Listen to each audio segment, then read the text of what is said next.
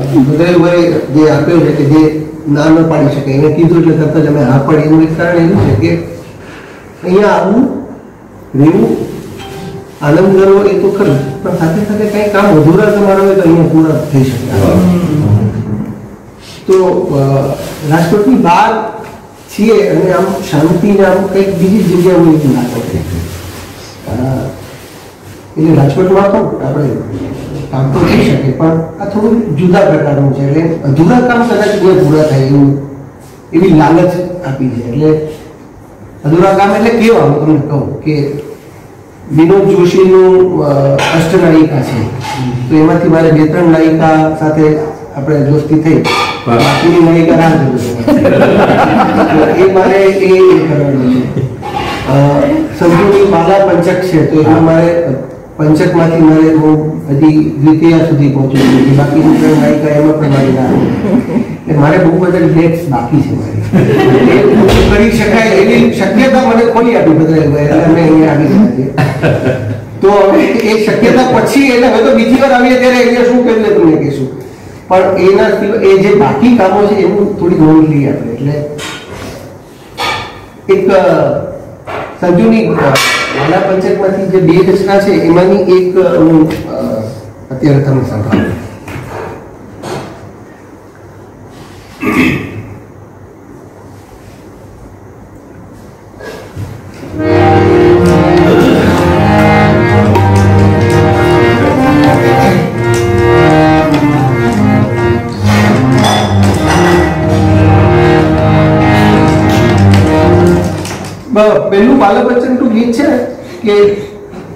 વાલે વાર્યું જગરું મેળું.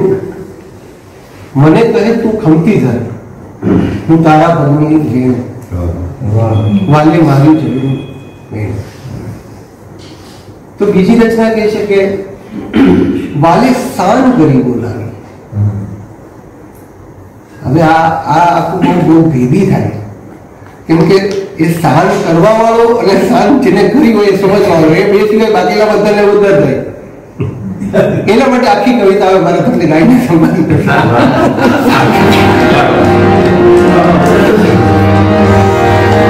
એને એને બૂમ નથી બોલાવી ઈશારો કરીને નથી બોલાવી પણ શાન કરીને બોલાવી. શાંત વાત સમજી જાય એ તો એ જે સમજે એ જ સમજે. ને બાકી તો બાકી બધા એમને બેઠા હોય તો બે જણા શાનમાં વાત કરી તો એ આખી વસ્તુ એટલે કઈ વસ્તુ એવી હોય છે કે જે સ્વર્ગાતને આકર્ષે?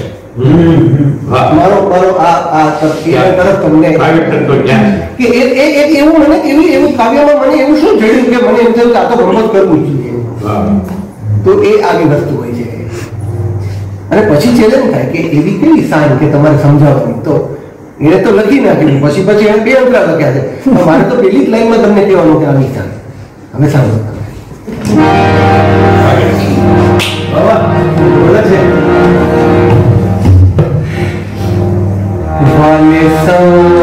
કરી બોલાવી